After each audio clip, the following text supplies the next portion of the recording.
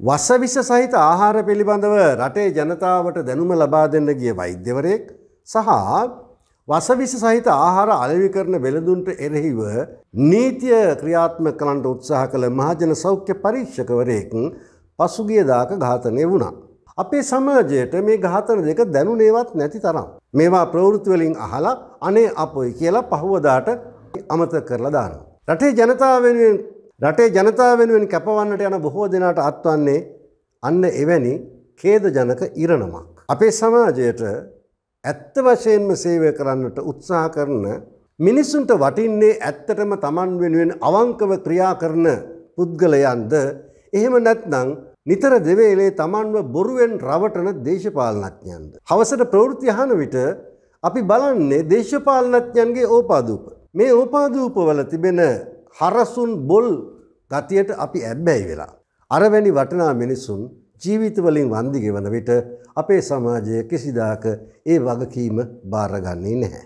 අද අපි කතා කරන්න සූදානම් වෙන්නේ අන්න ඒ ආකාරයේ උදාර පුරුෂයෙක් පිළිබඳව. ජාතික වීර ලැයිස්තුවට ඇතුළත් විය යුතුවත් ඒ වීර ලැයිස්තුවේ නම සඳහන් වෙලා නැති ඉසිවරයෙක් වැනි වෛද්‍ය විශේෂඥයෙක් පිළිබඳව. ඔගේ නම මහාචාර්ය සේනක බිබිලේ. සෞඛ්‍යය ගැන කතා කරන විට බොහෝ දෙනා සේනක බිබිලේ ගැන කතා කරනවා. එහෙත් ඇත්ත වශයෙන්ම ඔහු කළේ කුමක්ද. බොහෝ දෙනෙකු මේ කාරණා දන්නේ නෑ. එනිසා අපි අද වීඩියෝවෙන් කතා කරන්නට සූදානම් වෙන්නේ මහාචාර්ය සේනක බිබිලේගේ කතාපුවත. සේනක විබිලේ ඉපදුනේ එක්දා සම්සිය විස්සේ පෙබරවාරි දහතුන්වෙනිදා. බිබිලේ වලව්වේ චාස් විලියම් බිබිලේ රටේ මහත්තයාගේ පුතා තමයි සේනක බිබිලේ. මේ චාස් විලියම් බිබිලේගේ පියා රෙජිනෝල්ඩ් බිබිලේ. ඔහුත් රටේ මහත්තයෙක්. මේ බිබිලේ වරුන්ගේ විශේෂත්වය නම් ඉංග්‍රීසින් මේ රට පාලනය කරන සමයේදී ඉංග්‍රීසින් යටතේ තානාන්තර දැරුවත් නිරන්තරයෙන්ම ඉංග්‍රීසීන්ට එරෙහි මතවාදයක් දැරීම. චාන්ස් විලියම් බිබිලේ වලවකාරයෙක් වුණත් ඔහු අනෙකුත් රදලයන්ට වඩා වෙනස් පුද්ගලයෙක්. ඔහුගේ වලව්ව නිතරම සාමාන්‍ය පොදු මිනිස්සුන්ට විවෘත වෙලා තිබුණා. මේ නිසා හැම වෙලාවෙම බිබිලේ වලව්වේ දකින්නට ලැබුණා ගමේ ඉන්න සාමාන්‍ය මිනිස්සු නිදහසේ හැසිරෙන ආකාරය.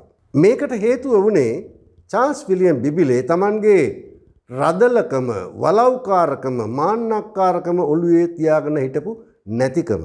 ඔහු හැම විටම පොදු ජනයාගේ යහපත වෙනුවෙන් හිතපු පතපු කටයුතු කළ පුද්ගලයෙක්. ඇබැයි ඔහුගේ අනික් ඥාති රදලයෝ මේ ප්‍රතිපත්තියට කැමති වුණේ නෑ. ඔවුන් හැම වෙලාම මේ චාස් විලියම් බිබිලේට දොස් කිව්වා අඹනං අපේ පරම්පරාවල නම්බුවත් නැති කරනවා කියලා.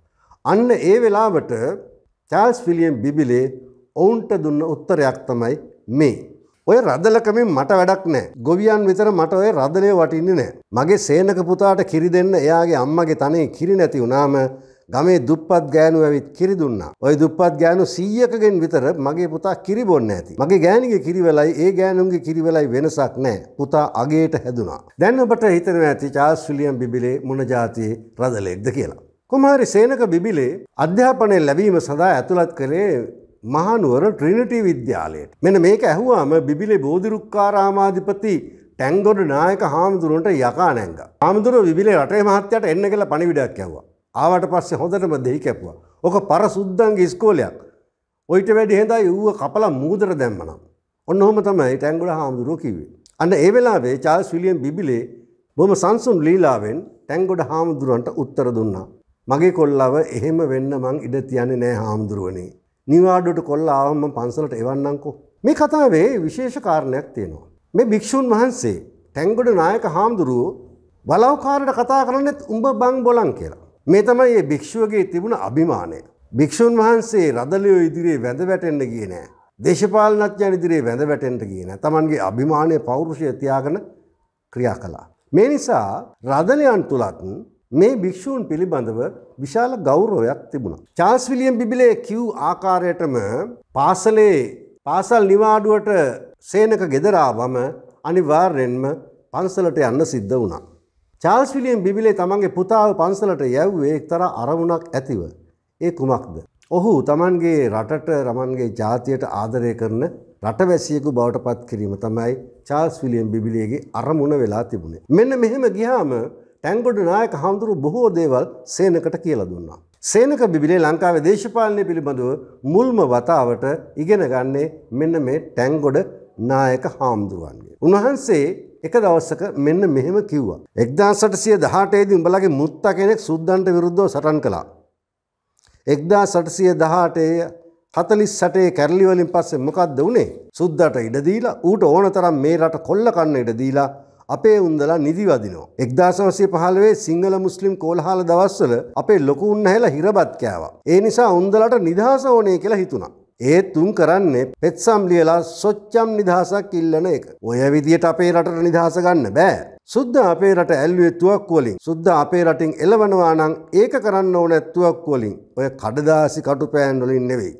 ට්‍රිනිටි විද්‍යාලයේ ඉගෙනීම ලබන සේනක බිබිලේ ගමේ ආ සැනින් පන්සලට ගින් ටැංගඩු නායක හාමුදුරුවන්ගේ මේ ආකාරයේ අවවා දනුශාසනා ලබන්නට පුරුදු වුණා. පාසලේ ඉගෙනීමේ කටයුතුවලට දක්ෂතා දක්කපු සේනක බිබිලේ ඒ වගේම ක්‍රීඩාවලටත් කලාවටත් දස්කම් දැක්වා. විශේෂෙන් ඔහු නාට්‍යයට සංගීතයට විශාල උනන්දුවක් දැක්ව. මෙන්න මේ ආකාරයට ඔහු ඉතාම දීප්තිමත් ශිෂ්‍යයෙක් වශයෙන් අධ්‍යාපනය ලබමින් සිටින අතරවාරයේදී හදිසියේම ඔහුගේ පියාමිය ගියා. චාන්ස් විලියම් බිබිලේගේ අභාවයත් සමගම බිබිලේ පවුල ඇත්ත වශයෙන්ම කිව්වොත් කඩාගෙන වැටුණා. මක් නිසාද ඒ වන විට චාල්ස් විලියම් බිබිලේ රැස්කරපු ධනයක් ඉතිරි වෙලා තිබුණේ නැහැ. මේ නිසා මේ වන විට ජේෂ්ඨ පාඨශාලා සහතික පත්‍ර විභාගය දක්වා ඉගෙනගෙන සිටි සේනක බිබිලේ තමන්ගේ පියාගේ මරණයෙන් පස්සේ කල්පනා කරනවා තවදුරටත් මම ඉගෙන ගන්න ගියොත්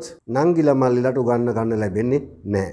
ඒ නිසා ඔහු තීරණය කරනවා පාසල්යාම නවත්වන්නට. ඔහු ඒ බව කියනවා ගිහින් තමන්ගේ පන්තියේ පන්තිභාර ගුරුවරයාට. අපේ ඉගෙනීමට වියදන් දරන්න අම්මට තනියම අපහසුයි. තාත්තා අපිව ජීවත් කළේ කොහොමද කියලා හිතාගන්නවත් බෑ. ඔහු මිනිසුන් තලා පෙලා මුදල් රැස් කළ කෙනෙක් නෙවෙයි. ඔහු ගොවීන්ට ඉඩම් දී සුළු ආදායමක් ලැබුවා. දැන් අම්මට ඒවා කරන්න බෑ. මා ලැබූ අධ්‍යාපනයේ තරමට මට දැන් කෘෂිකර්ම නිලධාරියෙක් වෙන්න පුළුවන්. ලැබෙන පඩියෙන් නංගිට සහ මල්ලිලාට උගන්වන්නත් පුළුවන්.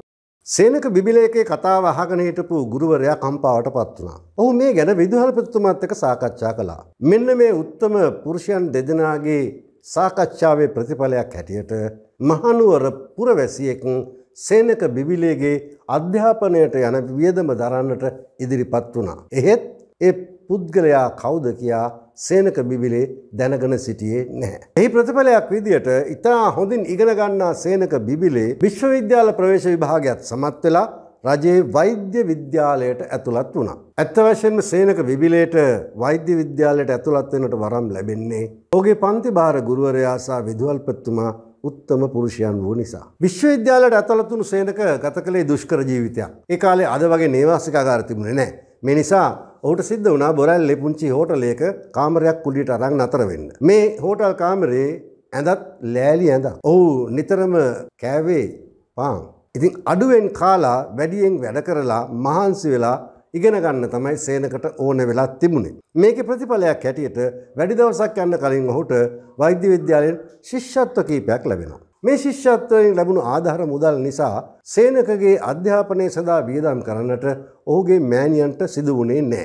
සේනකගේ හිතේ නිතරම වැඩ කළේ බිබිලේ දුප්පත් මිනිස්සු ගැන ඔවුන් විඳින දුක ගැන. කුසගින්නට ආහාරයක් නැති ලෙඩරෝගවලට බෙහෙතක් නැති මේ අහිංසක දුප්පත් මිනිසුන් වෙනුවෙන් යමක් කළ යුතුයි කියන අදහස සේනකගේ හිතේ නිරතුරුවම තිබුණා. බොහෝ විට එය ඔහුගේ පියාගේ ආభాසයෙන් ලැබුණක් විය හැකියි. මේ ආකාරයට බිබිලේ තම නෑසියන් වැනි දුප්පත් මිනිසුන් ගැන මහා අනුකම්පාවකින් වෙලී සිටි සේනක බිබිලේට දවසක් අපූරු පොතක් කියවන්න ලැබුණා. ඔහුගේ ශිෂ්‍යත්ව ආධාර මුදල් වැඩිපුර වැෑවුණේ පොත් මිලදී ගන්න. අඩුවෙන් කාලා සල්ලි ඉතුරු කරගෙන පොත් ගන්න එක තමයි ඔහුගේ ප්‍රධාන කාර්යය වෙලා තිබුණේ. මෙන්න මේ පොත කාල්මාක් සහ ෆෙඩරික් එංගල්ස් විසින් ලියනද කොමියනිස්ට් ප්‍රකාශනය. කොමියනිස්ට් ප්‍රකාශනය කියව්වහම සේනකට දැනෙන්න පටන් ගත්තා ඔහු එතෙක් දැන සිටියාට වඩා ලෝකය විග්‍රහ කරන වෙන ක්‍රම තිබෙන බව. කොමිනිස්ට් ප්‍රකාශනය කීමේ ප්‍රතිඵලයක් හැටියට ඔහු තවත් එවැනි පොත් හොයාගෙන කියවන්නට පෙළමුණ. එයින් විශේෂම පොත තමයි කාල්මාක්ස්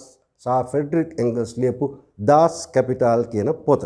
මේ පොත කියවට පස්සේ සේනක තේරුම් ගන්නවා දුක්විඳින මිනිසුන්ගේ දුක නැති කරන්න පුළුවන් රටක සමාජවාදය උදා කළ හොත් පමණයි. ඒ සඳහා ඇති එකම ක්‍රමවේදය කොමිනිස්ට්වාදය. එනිසා කොමිනිස්ට්වාදී සමාජයකින් තමයි ජනතාවගේ දුක නැති කරන්න පුළුවන් කියලා සේනක බිබිලේ විශ්වාස කරන්න පටන් ගත්තා. අධ්‍යාපනය ලබන අතරවාරේ නිවාඩු කාලයට ගමේ යන විට ඔහු බෙහෙත් පෙට්ටියක් අරන් යන්න පුරුදු වුණා. නිවාඩු දවස්වල ගමේ ගිහින් ගෙදර මිදුලේ බංකුවක් තියාගෙන ගමේ ලෙඩ්ඩුන්ට ප්‍රතිකාර කරන්න පටන් ගත්තා. ලෙඩ පරීක්ෂා කරන්න පටන් ගත්තා. බෙහෙත් දෙන්න පටන් ගත්තා. ගමේ මිනිස්සු ඔහුට වැඳ වැඳ බෙහෙත් අරන් ගියා. පුංචි මහත්තයා දෙන එක බෙහෙත් වලින් ලෙඩ හොඳ වෙනවා කියලා ගම්මුන් ඔහුට ආදරය කරන්න පටන් ගත්තා. ඔහු උපාධිය සමත් වුණා. ඒ සමත්වීම සාමාන්‍ය සාමර්ථයක් නොවෙයි. ඔහු රන් පදක්කම් දෙකක් සහිතව තමයි වෛද්‍ය උපාධිය සමත් වනේ.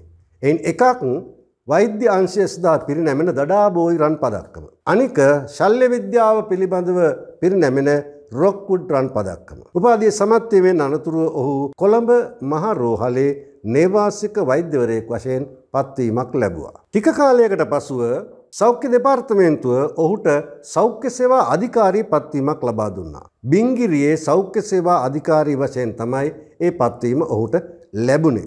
බිංගිරියේ සෞඛ්‍ය සේවා නිල්ධාරී වශයෙන් කටයුතු කරන අතරවාරයේදීම ඔහු බිංගිරියේ සහ හෙට්ටිපොළ රෝහල්වල වෛද්‍යවරයෙකු වශයෙන්ුත් කටයුතු කළා. මෙන්න මේ කාලයේදී ඔහු බිංගිරියේ දුප්පත් මිනිසුන්ගේ සෞඛ්‍යය නගා සිටවීම සඳහා විශාල කැපවීමකින් කටයුතු කළ බව අදටත් බිංගිරියේ පැරණි මිනිසු සඳහන් කරනවා. මේ ප්‍රදේශයේ බොහෝ මිනිසුන් වැඩ කළේ වතුවල. ඔහු වතුහිමියන්ට කතා කරලා කිව්වා මේ මිනිස්සු මන්ද පෝෂණයෙන් පෙළෙනවා. ඒ නිසා මේ මිනිස්සුන්ට දවසකට ආහාර වේලක් ලබා දෙන්න පුළුවන් නම් හොඳයි කියලා. එවිට වතුහිමියන් කිව්වේ අපි මේ බුදු වෙන්න බිස්සස් කරනවා නෙවෙයි ඒ නිසා ඔහු අපිට කරන්න බෑ කියලා. ඒත් සේනක බිබිලේ තමන්ට පුළුවන් ආකාරයට තමන්ගේ වැටුප මෙන්න මේ මිනිසුන්ගේ සෞඛ්‍යය සඳහා පරිත්‍යාග කළා. මේ කාලේ ඔහුගේ මල්ලිත් නැවතිලා හිටිය බිංගිරියේ ඔහුත් එක්ක. ඔහු කියන ආකාරයට සේනක බිබිලේ තමාගෙන් බෙහෙත් ගන්න එන රෝගීන් අතරින් ඉතාම දුර්වල සෞඛ්‍ය තත්ත්වයේ තියෙන අයට තමන්ගේ සාක්කුවෙන් සල්ලි දීලා හෝර්ලික්ස් අරගන්න කියනවලු. ඔහු අන්න ඒ ආකාරයට දුප්පත් මිනිසුන් වෙනුවෙන් මහා කාරුණික හදවතකින් ක්‍රියා කළා. එහෙත් ඔහු මල්ලිට කියනවා එක අවස්ථාවක මේ හෝර්ලික්ස් බෝතලයක් දීලා මේ මිනිසුන්ගේ දුප්පත්කම නැති කරන්න බෑ. ලෙඩ රෝග හොඳ කරන්නත් බෑ.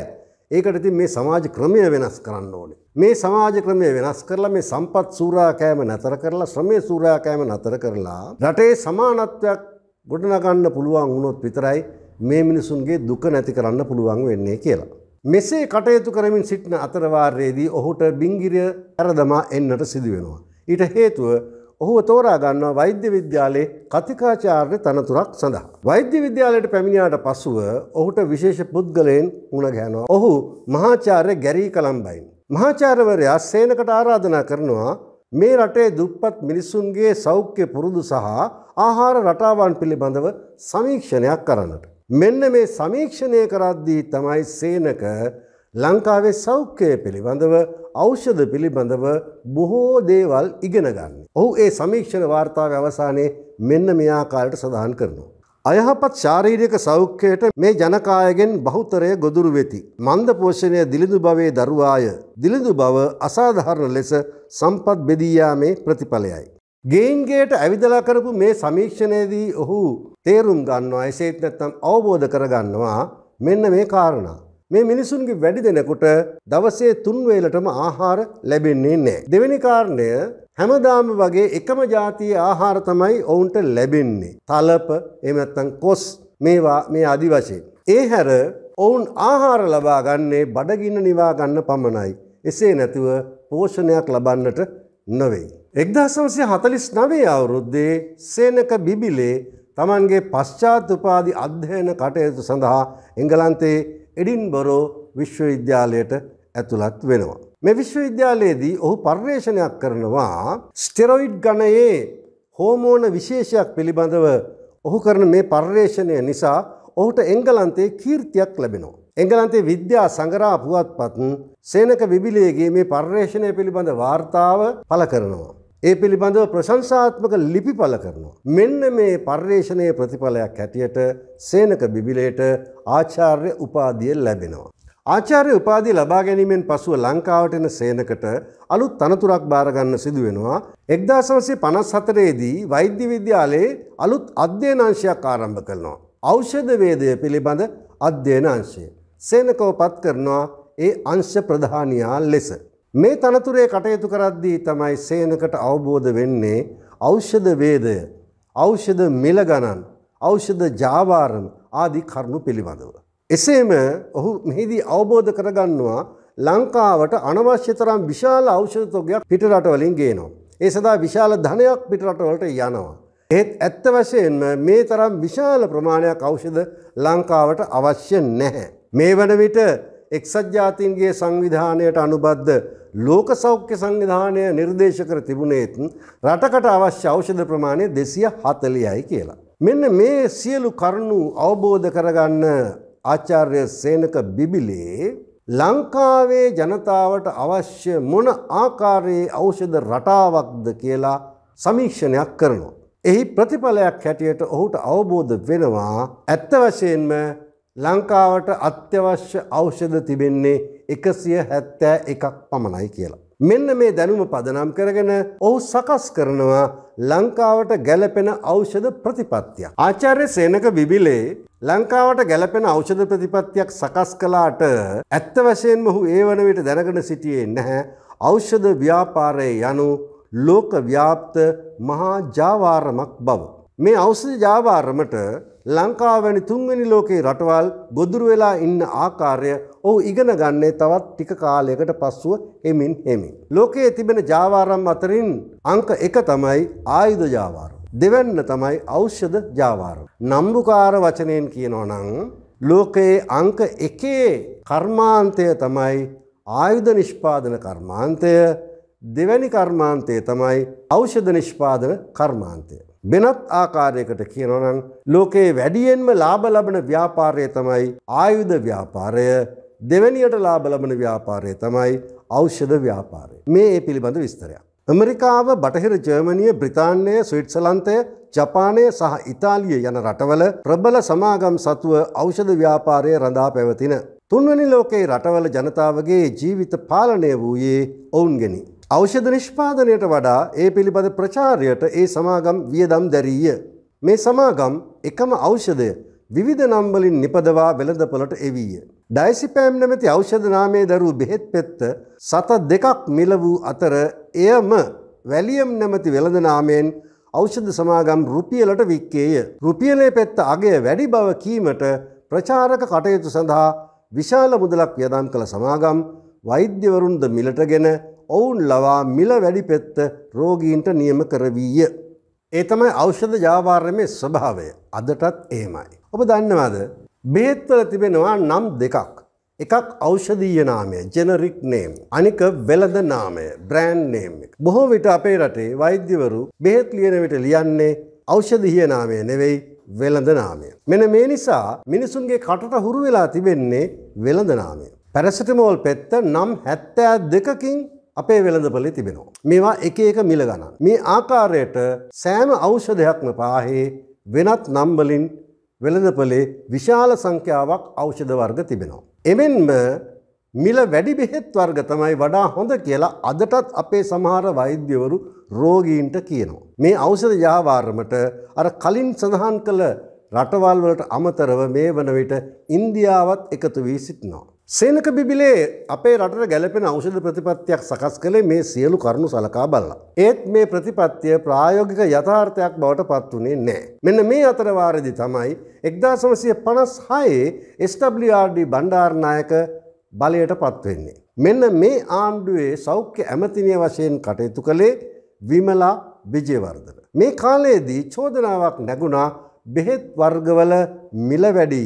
බෙහෙත් නැතුව රෝගීන් මිය යනවා. මේ පිළිබඳව සොයා බලන විට සෞඛ්‍ය ඇමතිනි විමලා විජේවර්ධනට දැනගන්න ලැබෙනවා වෛද්‍ය විද්‍යාලයේ ආචාර්ය සේනක බිබිලේ ඖෂධ වේදය පිළිබඳව බොහෝ තොරතුරු දන්නා බව. එනිසා ඇය ඔහුව කැඳවා මේ ප්‍රශ්නයට විසඳුමක් ඉල්ලනවා. ආචාර්ය සේනක බිබිලේ වාර්තාවක් සකස් කර ඇය වෙත ලබා දෙනවා. මේ වාර්තාවේ නිර්දේශ තුනක් ඉදිරිපත් කර තිබුණා. පළවෙනි නිර්දේශය ඖෂධ ලංකාවට ගෙන්වීම සහ බෙදා හැරීම රජය සතු කළ යුතුයි. දෙවැනි නිර්දේශය ටෙන්ඩර් කැඳවා ඖෂධ මිලදී ගත යුතුයි. තුන්ගෙන නිර්දේශය ලංකාවේ ඖෂධ නිෂ්පාදනය ආරම්භ කළ යුතුයි. මේ වාර්තාව කියවල ඇමතිනයගේ ඇස් සුඩ ගියා. ඇය කිසිසේත්ම සූදානම් වුණේ නෑ මේ නිර්දේශ ක්‍රියාත්මක කරන්නට. ඊට හේතුව තමයි ඇයත් ඇතුළුව ඇයගේ පැලැන්තිය සියලු දෙනාම දැවන්ත ව්‍යාපාරිකයෝ. එනිසා ව්‍යාපාරික ප්‍රජාව අමනාප කරගන්නා දෙයක් කරන්නට සෞඛ්‍ය ඇමතනිය කැමති වුණේ නැහැ. මේ වන විට ස්WRD බණ්ඩාරනායක පොදු ජනතා ආණ්ඩුවක් පිහිට වූ බව තමයි රටේ මිනිසුන් දැනගෙන හිටියේ. රටේ ජනතාවගේ සුභසිද්ධිය සඳහා මේ ආණ්ඩුව කටයුතු කරනවා කියලා තමයි රටේ මිනිස්සු විශ්වාස කළේ. එහෙත් බණ්ඩාරනායක ආණ්ඩුවේ විමලා විජේවර්ධන වැනි තවත් ඇමතිවරණුත් හිටියා. මේ නිසා ආචාර්ය සේනක බිබිලේ දුන් වාර්තාවෙන් ප්‍රයෝජනයක් ලැබුණේ නැහැ. තවත් ටික කාලයකට පසු 1963 සෞඛ්‍ය ඇමතිවරයා වූ බද්යුද්දීන් මහමුද්දත් ආචාර්ය සේනක බිබිලේ මේ වාර්තාව ඉදිරිපත් කරනවා. එහෙත් ඔහු ලවාත් මේ ප්‍රතිපත්තිය ක්‍රියාත්මක කරවා ගන්නට ලැබෙන්නේ නැහැ. මෙන්න මේ අතර වාරයේදී පේරාදෙණිය විශ්වවිද්‍යාලයේ පළමු වතාවට වෛද්‍ය පීඨයක් ආරම්භ කරනවා. මෙන්න මේ වෛද්‍ය පීඨයේ පීඨාධිපති වශයෙන් මහාචාර්ය සේනක බිබිලේ පත් කරනු ලබනවා. තමගේ ඖෂධ ප්‍රතිපත්තිය ක්‍රියාත්මක කරවා ගැනීමට සේනක බිබිලේ බොහෝ උත්සාහයන් දරනවා. එහෙත් එය සාර්ථක වන්නේ නැහැ. ඔහු මේ වන විට සමසමාජ පක්ෂයේ සාමාජිකයෙක් පේරාදෙණියේ පීඨාධිපති වශයෙන් ක්‍රියා කරන අතරම සතියන්තයේ ඔහු කොළඹ ඇවිත් සමසමාජ පක්ෂයේ දේශපාලන කටයුතු වල නිරත වෙනවා. 1968 ලංකා සමසමාජ පක්ෂයේ තරුණ සම්මේලනය අමතමින් ඔහු ප්‍රකාශයක් කරනවා. මොකක්ද ඒ ප්‍රකාශය රටට ජනතාවාදී ඖෂධ ප්‍රතිපත්තියක් ක්‍රියාත්මක කිරීම අවශ්‍යයි. ඒත් එවැනි ප්‍රතිපත්තියක් ක්‍රියාත්මක කළ හැක්කේ ජනතාවාදී ආණ්ඩුවකින් පමණයි. එනිසා රටේ ප්‍රශ්න විසදා ගැනීමට ඇති මූලික පියවර නම් ජනතාවාදී ආණ්ඩුවක් පිහිටවා ගැනීමයි. මෙන්න මේ කාලයේදී ලංකා සමසමාජ පක්ෂය ශ්‍රී ලංකාවේ කොමියනිස්ට් පක්ෂය සහ ශ්‍රී ලංකා නිදහස් පක්ෂය අතරේ සාකච්ඡා පැවැත්වමින් තිබුණා තව ටික දවසකින් එන එක්දා සමසය හැත්තෑවේ මහා මැතිවරණය පිළිබඳව. මේ මහා මැතිවරණයේදී නිතරග ගිවිසුමක් ඇතිකරගෙන ක්‍රියා කිරීමට මේ පක්ෂ තුන එකඟ වෙනවා. ඒ අනුව සමගි පෙරමුණ බිහි වෙනවා. මහාචාර්ය සේනක බිබිලේ තමාගේ ඖෂධ ප්‍රතිපත්තිය මෙන්න මේ සමගි පෙරමුණේ පක්ෂනායකයන්ට ඉදිරිපත් කරලා කරුණු පැහැදිලි කර දෙනවා. මේ පක්ෂනායකයන් මේ ප්‍රතිපත්තිය ක්‍රියාත්මක කළ යුතු බවට පිළිගන්නවා. එක්දා සංසය හැත්තෑවේ මහා මැතිවරණයෙන් සමගි පෙරමුණ අති විශිෂ්ට ජයග්‍රහණයක් අත්කර ගන්නවා. ඒ තමයි එක්දා සමසය හතලිස් අටේ ලංකාවට ඩොමීනියන් තත්ත්වය ලැබීමෙන් පසුව තුනෙන් දෙකේ බලයක් සහිතව පිහිටවනු ලැබූ පළමිවෙනි ආණ්ඩු.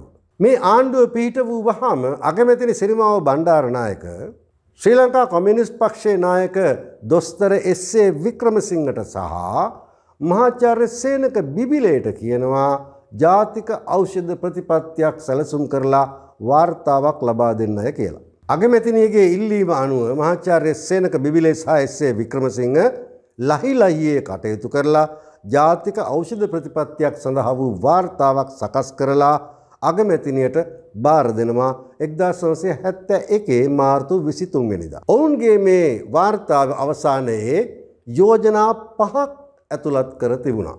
මෙන්න ඒ යෝජනා පහ. ජාතික ඖෂධ ප්‍රතිපත්තියේ ප්‍රධාන යෝජනා. ලංකාවට අනවශ්‍ය බෙහෙත් වර්ග ගෙන්වීම නතර කිරීම. රාජ්‍ය ආයතනවලත් පෞද්ගලික අංශයේත් ඖෂධවලට ඖෂධීය නාමය හෙවත් නිල නාමය පමණක් යෙදීම. මෙරටට ඖෂධ ගෙන්වීම සහ මෙරට ඖෂධ බෙදා හැරීම සම්පූර්ණයෙන්ම රජයේ ආයතනවලට පැවරීම. හතර ලංකාවේ ඖෂධ නිෂ්පාදනය තත්ත්වපාලනය අංශය සහ පර්යේෂණ අංශය දියුණු කිරීම. පහ ඖෂධ ගැන විද්‍යාත්මක කරුණු විශ්වාස කටයුතු ලෙස වෛද්‍යවරුන්ට සහ සෞඛ්‍ය සේවයේ යෙදී සිටින අයටත් මා ජනතාවටත් ලබාදී ඔවුන් සතු දැනුම පුළුල් කිරීම. ආණ්ඩුව මේ ඖෂධ ප්‍රතිපත්තිය පිළිගත්තා. ඒ අනුව එය ජාතික ඖෂධ ප්‍රතිපත්ති බවට නම් කර ක්‍රියාත්මකවීම ආරම්භ කළා. එහි පළමු පියවර ලෙස එක්දා සමසය හැත්තෑකේ සැප්තැම්බරු විසි දෙවනිදා ශ්‍රී ලංකා රාජ්‍ය ඖෂධ සංස්ථාව ආරම්භ කළා. මේ සංස්ථාවේ ආරම්භක සභාපති වශයෙන් මහාචාර්ය සේනක බිබිලේ පත් කළා. ඔහු පෙරදින විශ්වවිද්‍යාලයේ වෛද්‍ය පීඨයේ පීඨාධිපති වශයෙන් කටයුතු කරන අතරම ඖෂධ සංස්ථාවේ සභාපති වශයෙන්ුත් කටයුතු කළා. ඔහු වෛද්‍ය පීඨයේ දවස් 3ක් වැඩ කළා. අනිත් දවස් ඖෂධ සංස්ථාවේ වැඩ කළා. මෙහිදී විශේෂිතම කාරණය ඔහු ඖෂධ සංස්ථාවේ සභාපති වශයෙන් තමන්ට ලබන්නට තිබුණු විශාල වැටුප ප්‍රතික්ෂේප කළා. ඔහු කියා සිටියා මට විශ්වවිද්‍යාලයෙන් වැටුපක් ලැබෙනවා. ඒ වැටුප මට හොඳටම ප්‍රමාණවත්. ඒ නිසා මට කිසිම වැටුපක්වත් වරප්‍රසාදයක්වත් අවශ්‍ය නැහැ කියලා. කොටින්ම ඔහු සංස්ථාවෙන් වාහනයක් ලබාගත්තෙත් නැහැ. අනිකුත් දීමනා ලබාගත්තේත් නැහැ. ඔහු සංස්ථාවේ වාහන පාවිච්චි කළේ සංස්ථාවේ කටයුත්තකට යන්නට පමණයි. ඒ හැර ඔහු ගෙදර ගියේ Tamanගේ පෞද්ගලික ගමන් බිමන් ගියේ එක්කෝ බස් එකේ එහෙම නැත්නම් කෝච්චියේ. ඖෂධ මාෆියාව සහ මහාචාර්ය සේනක බිබිලේ අතර ගැටුම ආරම්භ වෙන්නේ මෙන්න මේ අවධියේදී.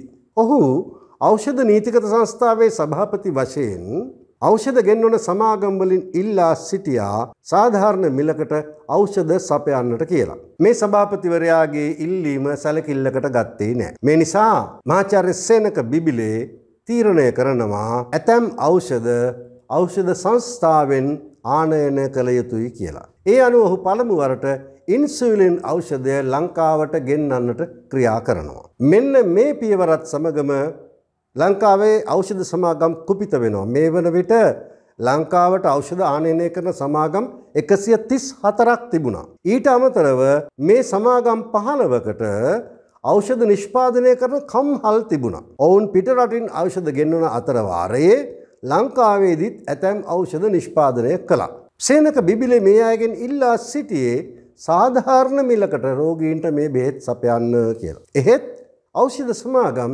තමන්ගේ ලාභයම සැලකුවා මිසක් අඩු මිලට ඖෂධ සැපීමක් ගැන හිතුවේවත් නැහැ. මෙන්න මේ තත්ත්වය යටතේ ඖෂධ සංස්ථාවේ සභාපති මහාචාර්ය සේනක බිබිලේ ඇතුළු අධ්‍යක්ෂ මණ්ඩලය තීන්දුවක් ගන්නවා ලංකාවට අවශ්‍ය ඖෂධ සංස්ථාවෙන් ආනයනය කරන්නට. ඒ අනුව ඔවුන් අත්‍යවශ්‍ය ඖෂධ පනස් පහක් තෝරාගෙන ඒවා මිලදී ගැනීම සඳහා අන්තර්ජාතික මිල ගණන් කැඳෙව්වා. මෙන මේ අවස්ථාවේදී නම් ඖෂධ සමාගම් කුපිත වුණා. එහෙත් ඒ කුපිත වීම සභාපතිවරයා ගණනකටවත් ගත්තේ නෑ. මේක ප්‍රතිඵලය වුණේ මොකක්ද? මේ ඖෂධ සමාගම් සල්ලි දීලා සමහර දොස්තරලව මිලට ගත්තා. මේ දොස්තරලා ලවා සංස්ථාවෙන් ගෙනන ඖෂධ බාලයි කියන්න පටන් ගත්තා. මේ දොස්තරලා ලවා රෝගීන් මිය යන තැනට වැඩ සැලැස්වා. ඒ අතරවාර ඉතාම කනගාටුවෙන්වත් සඳහන් කළ යුතුයි ලංකාවේ ජාතික පත්තරවලට සල්ලි දීලා ඖෂධ සංස්ථාවේ බෙහෙත් බාලයි කියලා ප්‍රචාරයක් අරගෙන ගියා. දැන් ඔබට හිතෙන්නට පුළුවන් එහෙමත් කරන්න පුළුවන්ද කියලා. ඔව් එහෙම කරනවා. අදත් කරනවා. ලංකාවේ ජනමාධ්‍ය මගින් එවැනි ඕනෑම වැරදි මතවාදයක් ප්‍රචාරය කරන්න පුළුවන්. ඔබ හිතන්නේ ජනමාධ්‍ය මගින් බොරු කියන්නේ දේශපාලනය සම්බන්ධයෙන් විතරයි කියලද. නැහැ. ඕන් නෑම ක්ෂේත්‍රයක බොරු ජනමාධ්‍ය ඔස්සේ ප්‍රචාරය කරවිය හැකි. මම පෞද්ගලිකව අත්දැකීමෙන් දන්නා නිසාමේ කියන්න. මහාචාර්ය සේනක බිබිලේටත් මූුණ දෙන්නට සිදු වුණා මෙන්න මේ තර්ජනවලට. එක් පස්සකින් තමන්ගේම වෘතියේ නිරත වී ඉන්නා වෛද්‍යවරු පිරිසක් ඖෂධ සංස්ථාවේ ඖෂධවලට එරෙහිව ප්‍රචාරයක් ගෙන යනවා. අනික් පසින් ජනමාධ්‍ය ඔස්සේ මේ ඖෂධ පිළිබඳව බොරු ප්‍රචාරයක් ගෙන යනවා. එහෙත් සෙනක බිබිලේ සැලුනේ නෑ ඔහු තත්ත්ව පරීක්ෂණ මගින් ඔප්පු කර පෙන්නවා සංස්ථාව ගෙන්වන ඖෂධ තත්ත්වයෙන් බාල නැති බව. ඖෂධ සංස්ථාව ඖෂධ ආනයනය කිරීමේ ප්‍රතිඵලය වුණේ කුමක්ද. කලින් තිබුණාට වඩා විශාල අඩු මිලකට ඖෂධ ලබා දෙන්නට හැකි වුණා. මේ කාලයේ තමයි ඔහු අලුත් සංකල්පයක් ආරම්භ කළේ. ඖෂධ සංස්ථාවේ ෆාමසි ආරම්භ කළා. ඔස්සුසල. ඔසුසල සංකල්පය නිර්මාතෘ තමයි මහාචාර්ය සේනක බිබිලේ. අදටත් ඔසුසලේ නේද අඩුමිලට බෙහෙත් තියෙන්නේ. සංස්ථාව මේ ආකාරයට අඩුමිලට ඖෂධ මිලදී ගැනීම නිසා එක්දා සමසය හැත්තෑ දෙකේ ජූලි මාසයේ පමණක් රුපියල් ලක්ෂ හැටක් විදේශවිනිමේ ඉතිරි කරගන්නට ලැබුණා කියලා වාර්තා වෙනවා. එක්දා සමසය හැත්තෑ දෙකේ රුපියල් ලක්ෂ හැටක් යනු සුළු පටු මුදලක් නොවේ. මේ සභාපතිවරය අපූරු පුද්ගලයෙක්. ඔහු සංස්ථාව සේවකයන්ට කියනවා ඔගොල යුනියන් එකක් කදාගන්න. වෘතිය සමිතියක් හදන්නට සභාපතිවරයාම දිරි දෙනවා. සේවකයෝ මේ පිළිබඳව කතා වෙනවා මෙයා නම් මාර බඩුවක්. වෙන සභාපතිලට නම් වෘත්තීය සමිති පෙන්වන්නවත් බෑ. ඒත් අපේ සභාපති අපිට කියනවා වෘත්තීය සමිතියක් හදන්න කියලා. එපමණක් නෙවෙයි.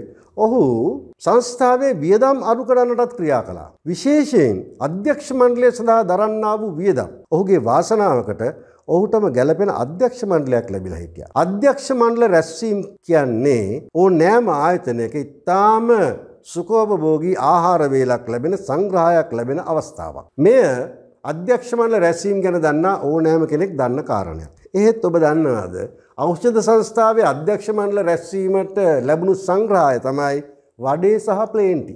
ඔහු කියා සිටියේ අපි දුප්පත් රටක් අපිට ඒ නිසා පෝසත් රටවල්ල වගේ කන්න බොන්න බෑ. අපේ රටත් පෝසත් වනාම අපි හොඳට කමු බොමු එනිසා දැනට වඩේ ප්ලේන්ටී විතරක් ඇති කියලා. ඔහුට ඉතාම ගැලපෙන සගයෙක් ලැබිලා හිටියා. සේවක කමිටු ලේකම් උපසේන ජයරත්න. උපසේන ජයරත්න කියන විදිහට ඒ කාලයේ ඖෂධ ගෙන්වීම සඳහා ටෙන්ඩර් කැඳව්වාම මේ ටෙන්ඩර් විවෘත කර දවස්වලට රෑ තිස්සේ වඩේ කමින් ප්ලේන් ටිබමින් මේ ටෙන්ඩර් කැඩුවේ කියලා උපසේන ජයරත්න ප්‍රකාශ කරනවා. ඔහුගේ පෞද්ගලික ජීවිතයත් එසේමයි. අද නම් අපි දන්නවා රජයේ සංස්ථාවක සභාපතිවරයෙක් කොයිතරම් සුඛෝපභෝගී ජීවිතයක් ගත කරනවද කියලා. එහෙත් මහාචාර්ය සේනක බිබිලයට තිබුණේ කමිස දෙකයි, කලිසම් දෙකයි, පටිසපත්තු ජෝඩුවයි. ඔහු ඉතාම සරල අල්පේච්ඡ ජීවිතයක් ගත කළ පුද්ගලයෙක්. ඔවුන් ගයක් හදාගත්තේ ඔහුගේ භාර්යාව ලීලා බිබිලේ පෞද්ගලික සමාගමක වැඩ කරලා උපයාගත්ත වැටුප නිසා. ඔහුගේ වැටුපට වෙන්නේ මොනවාද කියලා භාර්යාවවත් දැනගෙන සිටියේ නෑ. ඔහුගේ වැටුපෙන් ප්‍රතිලාභ ලැබූ සංස්ථාවේ සේවකයන් පමණයි ඔහුගේ වැටුපට සිදුවන දේ දැනගෙන හිටි. මෙන්න මේ ආකාරයට සංස්ථාව ඖෂධ ගෙන්වීම ආරම්භ කලාට පසුව ලංකාවේ ඖෂධ වෙළඳාමේ නිරත වෙලා හිටපු සමාගම් මහාචාර්ය සේනක බිබිලයට විරුද්ධව ඒකරාශී වුණත් කිසිම පියවරක් ගන්න බැරුවයි හිටියේ. ඊට හේතුව තමයි මහාචාර්ය සේනක බිබිලයට ඒ ආණ්ඩුවෙන් විශාල ධෛර්යයක් ලැබුණා. විශේෂයෙන් එන්.එම්. පෙරේරා කොල්ලිනාර්ද සිල්වා එත් එක මෙස්සේ වික්‍රමසිංහ ටීබී සුභසිංහ යනාදී ඇමතිවරු හැම විටම ඖෂධ සංස්ථාව ආරක්ෂා කර ගැනීමට ඉදිරිපත් වුණා. මෙනිසා ඒ කාලේ රට පුරා ඖෂධ සංස්ථාව සීග්‍රේන් ජනප්‍රිය වී ගියා. ඔසුසල් රට පුලා විවෘත කළා. අදටත් ඒ කාලයේ විවෘත කළ ඔසුසල් 51ක් ලංකාව පුරා ක්‍රියාත්මක වෙනවා.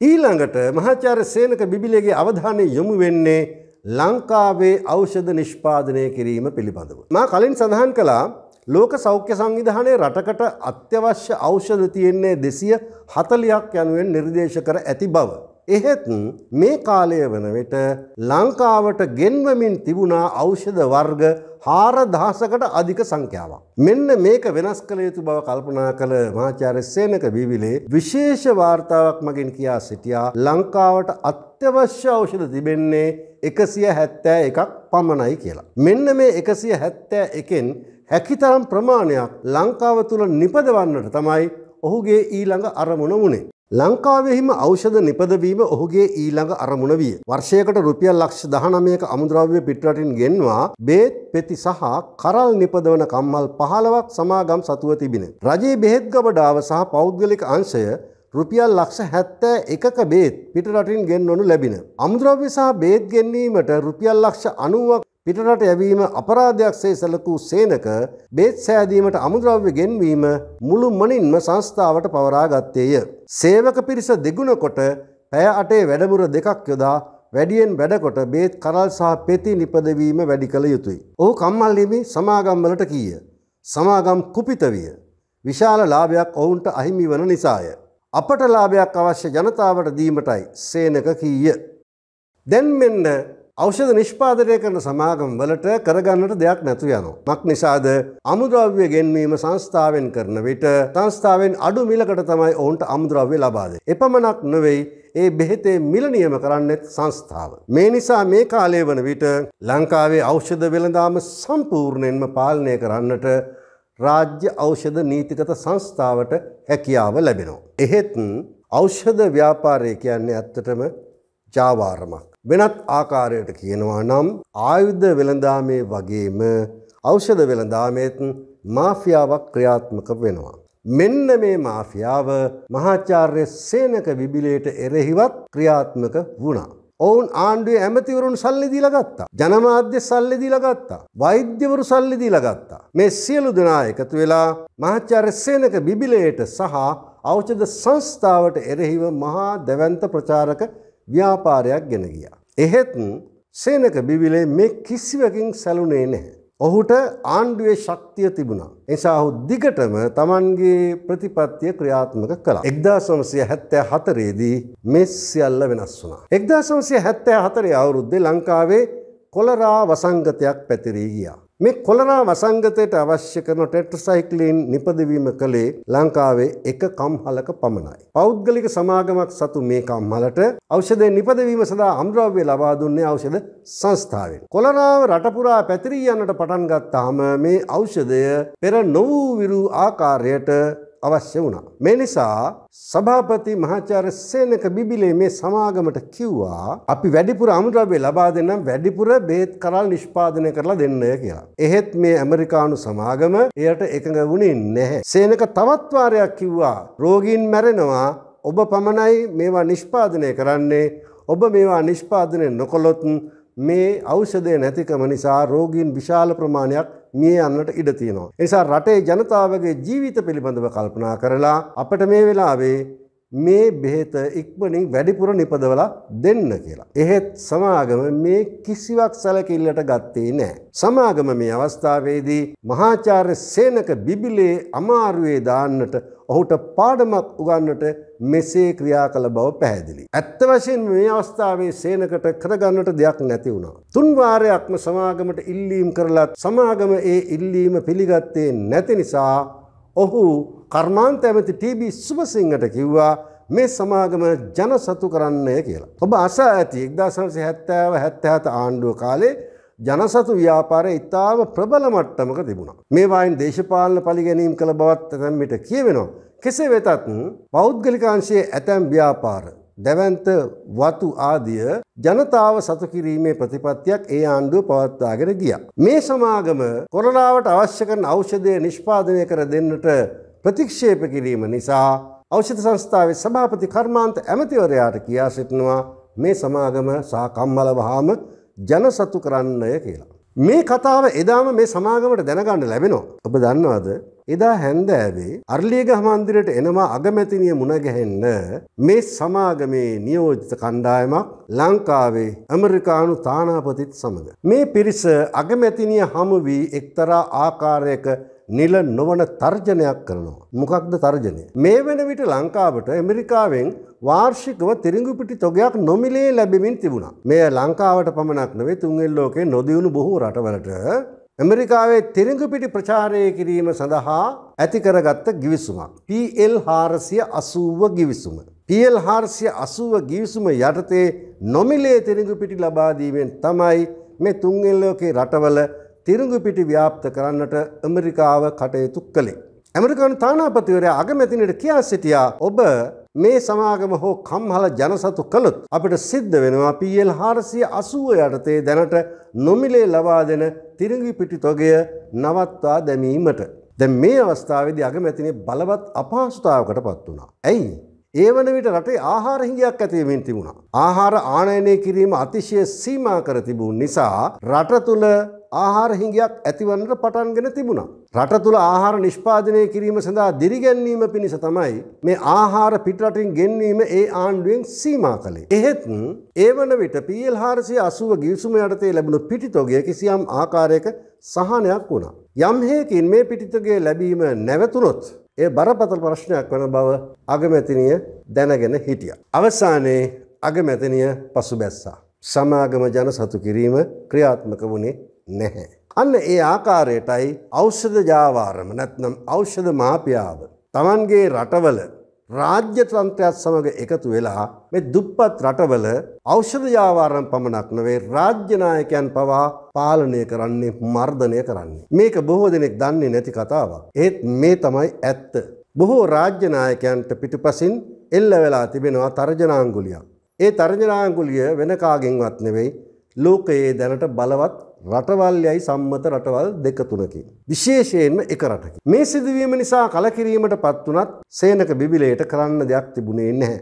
ඔහු දැනගෙන සිටියා ඖෂධ මාෆියාවේ තරම කොයි තරම් ප්‍රබලද කියලා. මේ කාලය වන විට ආණ්ඩුව ඇතුළේ පක්ෂ අතරේ විවිධාකාර ගැටලු මතු වෙමින් තිබුණා. ශ්‍රී ලංකා නිදහස් පක්ෂයට එරෙහිව ලංකා සමසමාජ පක්ෂයත් කොමියනිස් පක්ෂයත් අවි අමෝරාගෙන සිටිය. මේ ගැටුමේ ප්‍රතිඵලයක් ලෙස එක්දා සමසය හැත්තෑ පහේ අවුරුද්දේ ලංකා සම සමාජ පක්ෂය ආණ්ඩුවෙන් ඉවත්වීමට තීරණය කළා. ඒ අනුව මේ ඇමතිවරුන් ආණ්ඩුවෙන් ඉල්ලා අස්සන දවසේ මහාචාර්ය සේනක බිබිලේ ආචාර්ය එන්නෙම් පෙරේරට කිව්වා ඔබ සියලු දෙනා ආණ්ඩුව අතහැර යනවා නම් මට මේ තනතුරේ ඉන්න අවශ්‍ය නැහැ. ඒ නිසා මාත් මේ එක්කම ඉල්ලා අස්සනවා කියලා. එහෙත් ඔබ දන්නවාද ආණ්ඩුවෙන් අස්වෙලා විපක්ෂයේ ඉඳගන්න යන හිටපු මුදල් ඇමති ආචාර්ය එන්නම් පෙරේරා මහාචාර්ය සේනක බිබිලයට කිව්වේ මොකක්ද? නෑ. ඔබේ සේවය මේ රටට තවදුරටත් අවශ්‍යයි. ඒ නිසා වෙන්නේ මොකක්ද කියලා බලන්න ඔයා මේ තනතුරේ අනිවාර්යෙන් රැඳිලා ඉන්න ඕනේ කියලා. ඒ අනුව මහාචාර්ය සේනක බිබිලේ සංස්ථාවේ සභාපතිකම අත්හැර ගියේ නැහැ. 1976 දී ලංකාවේ පැවැත්වුණා නොබැති ජාතීන්ගේ සමුළුව. මේ නොබැති ජාතීන්ගේ සමුළුවට මහාචාර්ය සේනක බිබිලේගේ ජාතික ඖෂධ ප්‍රතිපත්තියත් ඉදිරිපත් කර තිබුණා. ශ්‍රී ලංකාවෙන් ඉදිරිපත් කර තිබූ මේ ඖෂධ ප්‍රතිපත්තිය නොබැති ජාතීන්ගේ රටවල රාජ්‍ය නායකයන්ගේ සහ පැමිණ සිටි ඇමතිවරුන්ගේ තාම සැලකිල්ලට ලක් වුණා. ප්‍රශංසාවට ලක් වුණා. ඔවුන් සේනක බිබිලේව ගෙන්වා මේ පිළිබඳව විමසුවා. සේනක බිබිලේ ඔවුන්ට පැහැදිලි පැහැදිලි කර දුන්නා. මෙන්න මේ අවස්ථාවේදී නොබදි ජාතීන්ගේ රාජ්‍යනායකයන් සාකච්ඡා කරනවා ඇත්ත වශයෙන්ම අපේ රටවලත් මෙවැනි ඖෂධ ප්‍රතිපත්තියක් ක්‍රියාත්මක කරන්නට ඇත්නම් කොච්චර හොඳයිද කියලා. මේ සාකච්ඡාවල ප්‍රතිඵලයක් හැටියට මේ නායකයන් මහාචාර සේනක බිබිලේ පිළිබඳව සොයන්නට පටන් ගන්නවා. එහිදී ඔවුන්ට දැනගන්නට ලැබෙනවා ඒ වන විට මහාචාර්ය සේනක බිබිලේ ලංකාව තුළ දියත් කර තිබූ ඖෂධ විප්ලවයේ ප්‍රතිඵල කෙසේද යන්න. එපමණක් නොවෙයි ඔහුට අවශ්‍ය පරිදි මේ ක්‍රියාත්මක කරන්නට අවස්ථාවක් නැතිවෙමින් පවතින බවත් ඔවුන්ට තේරුම් ගන්න ලැබෙනවා. මෙන්න මෙහි ප්‍රතිඵලයක් ලෙස එක්සත් ජාතීන්ගේ වෙළඳාම සහ සංවර්ධනය පිළිබඳ සමුළුව හෙවත් අංක්ටෑඩ් සංවිධානය උන්ක්ටාඩ් සංවිධානය කළත් කියනවා. මෙන්න මේ සංවිධානයේ විද්‍යා හා තාක්ෂණ ප්‍රතිපත්ති අංශයේ අධ්‍යක්ෂ සුරේන්ද්‍රජේ විමල් මහාචාර්ය සේනක බිබිලයට ලිපියක් එවනවා. ඒ ලිපියෙන් ඔහුට ආරාධනාවක් කරනවා. මෙන්න ඒ ලිපියෙන් කොටසක්. ඔබ ලංකාවේ ඖෂධ ප්‍රතිපත්තිය ක්‍රියාත්මක කළ ආකාරය බොහෝ රටවල නායකයන්ගේ පැසසුමට ලක් වුණා. ඒ ප්‍රතිපත්ති ලංකාවේදී ක්‍රියාත්මක කිරීමට තවදුරටත් ඔබට ඉඩකඩ නැති බවද පෙනුණා. අංක්ටෑඩ් සංවිධානය ලෝක සෞඛ්‍ය සංවිධානය සහ සංවර්ධන වෙන රටවල ආර්ථික සහයෝගිතාව පිළිබඳ සමුළුව එක්වී ඒ රටවල ජනතාවගේ සෞඛ්‍ය ආරක්ෂාව පිළිබඳව කටයුතු කිරීමේ කාර්ය සාධක බලකායක් පිහිටුවීමට අදහස් කරනවා. ඔබ එහි නායකත්වය ගැන කටයුතු කළහොත් එය අපට ශක්තියක්. රටවල් ගණනාවක කෝටි සංඛ්‍යාත ජනකායකට සේවය කිරීමට ඔබට අවස්ථාවකුත් ලැබෙනවා. මේ වන විට කිසියම් ආකාරයක කලකිරීමකට ලක්කමින් සිටි මහාචාර්ය සේනක බිබිලේ දෙවරක් නොසිතාම ඒ ආරාධනය පිළිගන්නට තීරණය කරනවා. මක් නිසාද මේ වන විට ලංකාවේ දේශපාලන ස්ථාවරභාවය පිළිබඳ බරපතල අර්බුදකාරී තත්ත්වයක් තිබුණේ. ඉතාම පැහැදිලිව පෙනෙන්නට තිබුණා චයාර්ජාවර්ධන ඇතුළු එක්සත් ජාතික පක්ෂය අනිවාර්යෙන්ම ඊළඟ මැතිවරණයේදී ජයග්‍රහණය කරන බව. එවිට මේ සියල්ල විනාශ වී යන බව මහාචාර්ය සේනක බිබිලේ මෙන්ම එවැනි බොහෝ උගතුන් දැනගෙන සිටිය. මේ නිසා උන්ටාට් සංවිධානයේ ඉදිරිපත් කළ ආරාධනය පිළිගැනීමට ඔහු තීරණය කරනවා. ඔහුට ඒ සංවිධානයේ ජේෂ්ඨ ඖෂධ ප්‍රතිපත්ති පිළිබඳ විශේෂඥ තනතුර ලැබෙනවා. මේ තනතුර භාරගත්ත බව දැනගත් ඔහුගේ මිත්‍රයෙක් ආචාර්ය පීට ඕ බ්‍රයන් කතා කලා මහාචාර්ය සේනක බිබිලේට. ඔහු මෙන්න මෙහෙම කිව්වා. නුඹ දිලිඳු රටවල ජනතාවට සේවය කිරීමට යෑම පිළිබඳව මම සතුටු වෙනවා. ඒත් නුඹ ඉන්න අනතුරේ බෞජාතික ඖෂධ සමාගම් නුඹව ලුහු බඳිනවා. කවදා හෝ නුඹේ සිරුර අප්‍රිකාවේ ගඟක පාවෙනවා කියා ඇසුවොත් මා පුදුම වෙන්නේ නෑ. ඊට වගකිව යුතු කවුදැයි මා දන්නවා. එක්දා සවසය හැත්ත හතරේ අප්‍රේල් විසි අතර වෙනිදා ස්විට්සලන්තේ ජිනිවන් නුවරදී මහාචාර්ය සේනක බිබිලේ අලුත් තනතුරේ වැඩ බාරගත්තා. ඔවුන්ගේ සංවිධානය කියා තිබූ ආකාරයට මුලින්ම කැරිබියන් රටවල ඖෂධ ප්‍රතිපත්තියක් සකස් කිරීම පිළිබඳව සමීක්ෂණයක් කරන්නට නියමිත වෙලා තිබුණා. ට්‍රිනිඩෑඩ් ජමයිකා බාබඩෝස් ඩොමිනිකා ග්‍රනේඩා ඇන්ටිගුවාසා ගයනා යන කැරිබියන් දූපත්වල ජනතාව සඳහා ඖෂධ ප්‍රතිපත්තියක් සකස් කිරීම සේනකට පැවරිණි. ජමේකාවේ උපන් ආචාර්ය රොල්ෆ් රිචඩ්ස් ඇතුළු අට දෙනෙකුගේ සහාය ඔහුට ලැබිණි. ඒ දූපත්වල ඇවිද වාර්තාවක් පිළියෙල කිරීම පළමු කටයුත්ත විය.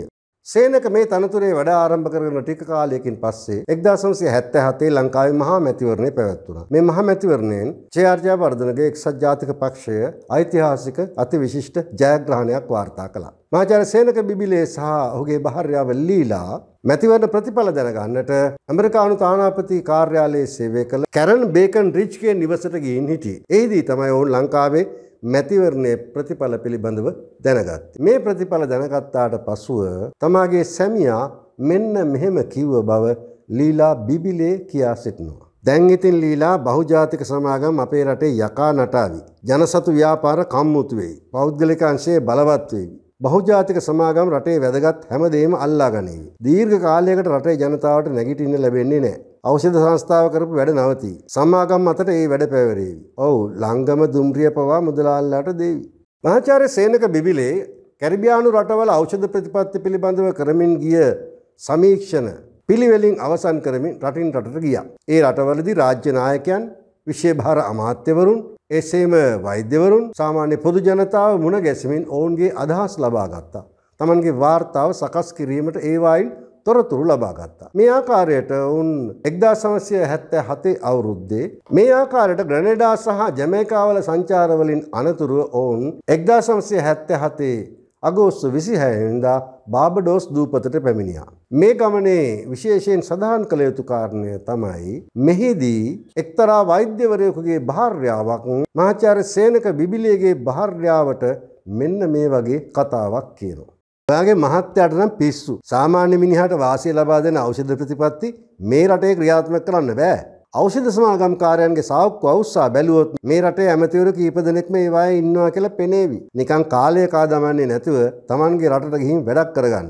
අපේ මහත්තයා කිව්වා ඖෂධ ප්‍රතිපත්ති හදන්න එන අයට ඖෂධ සමාගම් වලින් සමාවක් ලැබෙන්නේ නැහැ කියලා. දැනටමත් ඔයාගේ මහත්තයාට විරුද්ධව සමාගම් කුමන්ත්‍රණය කරනවා.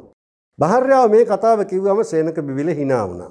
අපි ඉක්මනට වැඩ කරමු. අපි පරක් වෙන තරමට සතුරාත් ඉක්මන් වෙන්න පුළුවන්. ඒ නිසා හැකි ඉක්මනින් මේ වාර්තාව සකස් කරලා බාර දෙන්නට ඕනේ කියලා ඔහු කියා සිටියා. බාබඩෝස් දූපතේ මාසයක කාලයක් ගත කළ මේ කණ්ඩායම 1977 සැප්තැම්බර් 26 වෙනිදා ගයනාවලට පැමිණියා. ගයනාවල තමයි ඔවුන්ගේ අවසාන සමීක්ෂණය යෙදිලා තිබුණේ.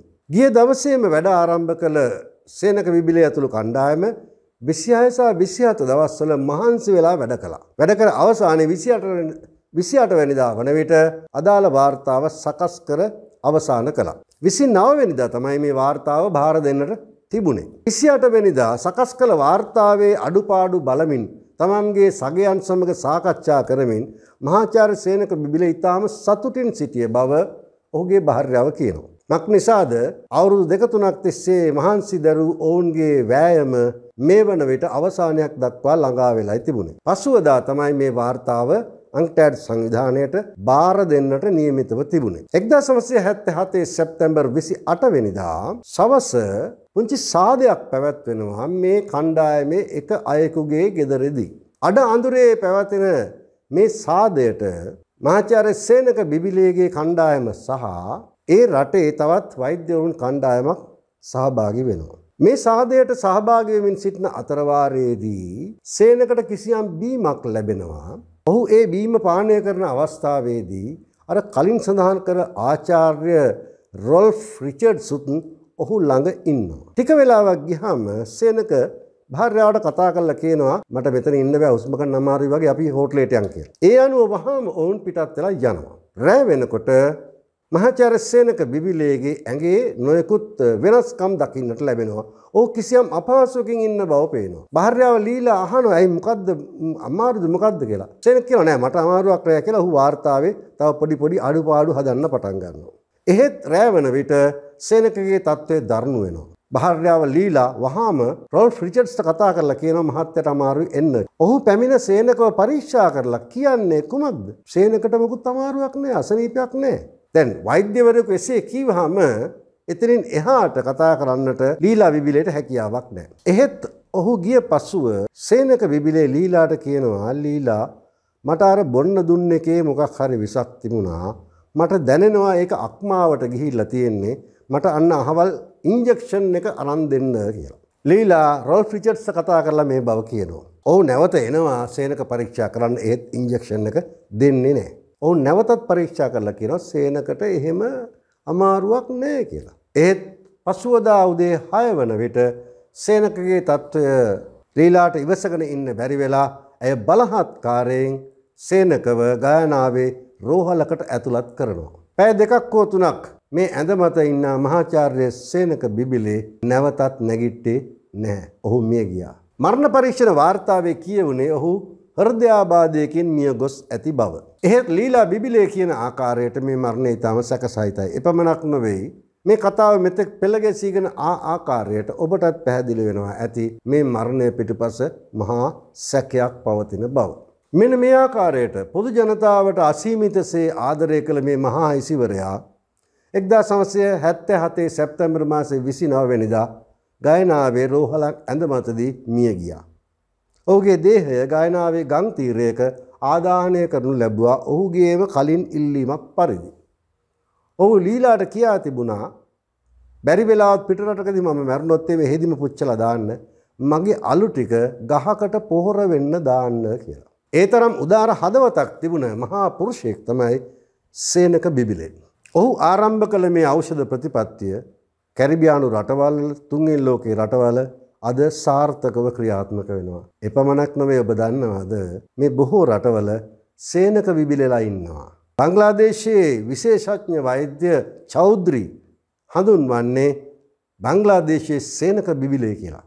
මෙන්න මේ ආකාරයට සේනක බිබිලේව මහා ප්‍රතිරූපයක් හැටියට ඒ රටවල පිළි අරගෙන තිබෙනවා. ඒ අතරවාරේ ලංකාවේ මේ වන විට බිබිලේ වලව්ව ගරා වැටෙමින් තිබෙනවා. මේ මෑතකදී බිබිලේ රෝහල සේනක බිබිලේ රෝහල යනුවෙන් නම් කරනු ලැබුවා. ඔහු ආරම්භ කළ ජාතික ඖෂධ ප්‍රතිපත්තිය අද ලංකාවේ ක්‍රියාත්මක වෙන්නේ නැහැ.